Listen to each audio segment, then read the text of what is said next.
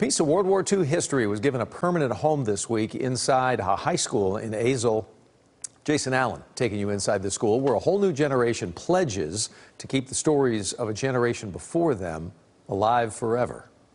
When she's not on the runway, on stage, on the track, at the football stadium, in student government, Brooke Schucke has a passion for an infamous day from more than 80 years ago just Pearl Harbor, I truly think it was probably that movie that initially roped me in. Watching that 2001 film was an assignment from her dad before a family trip to Hawaii. The subsequent visit to the memorial hooked the then 11 year old for good. Then just being there, imagining it, just did something to that 11 year old me. And then once I started learning more about it, I was just that more drawn to it. She started doing research school projects, even a birthday party with a Pearl Harbor theme. When I was turning 12, yeah. Did they know the facts? Did people come prepared? Uh, after me talking about it for months, definitely.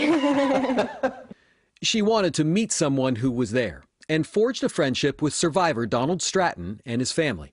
And she learned from them about a Navy program to distribute pieces of the sunken USS Arizona.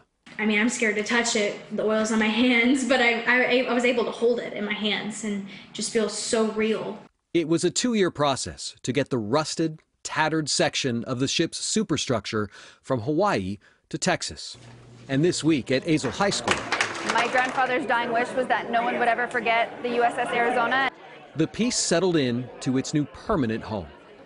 For the students who walk past it, Pearl Harbor won't just be a picture in a book or a scene in a movie, but something real that Schucke hopes they will remember. I wasn't aware until I was made aware. And that's just what you got to do. That's what we're, our goal is to educate so that it's never forgotten and they know it for generations to come. In Azle, Jason Allen, CBS 11 News. And just so you know, Schucke has started a nonprofit as well. It's called A Hero's Dream to try to continue keeping our veterans' memories alive as well as help when we can veterans in need. Wonderful causes close to our hearts here.